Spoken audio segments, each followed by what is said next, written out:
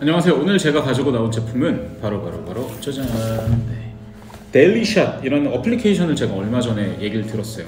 저희 매부가 이거 추천인 코드 줄 테니까 이거 써서 가입하면 나한테도 5,000원 그리고 매부한테도 5,000원을 준대요.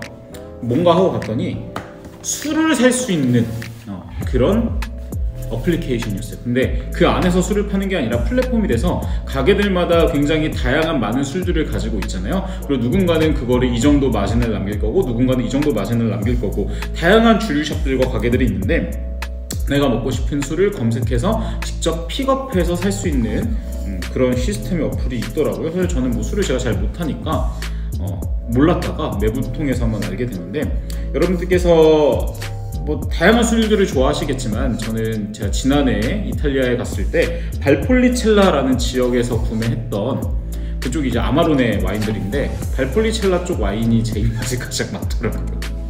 술도 잘 못하면서 그래서 이제 뭐 DOC 등급, 뭐 DOCG가 이제 더 위에 등급이긴 한데 DOC 등급 그만큼 이 와인은 굉장히 가성비 있게 샀습니다.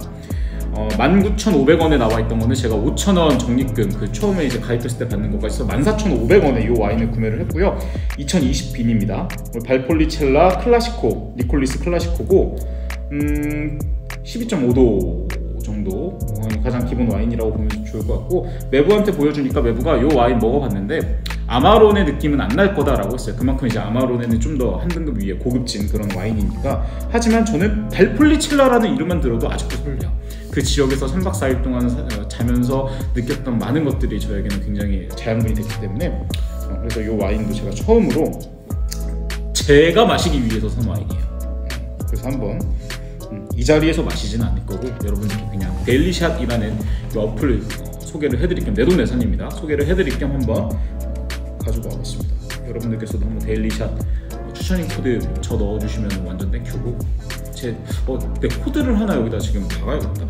그러면 이제 그 코드 넣어서 사주시면 좋을 것 같아요. 꼭 넣어서 저 5천 원씩 받게 해주세요. 아니요.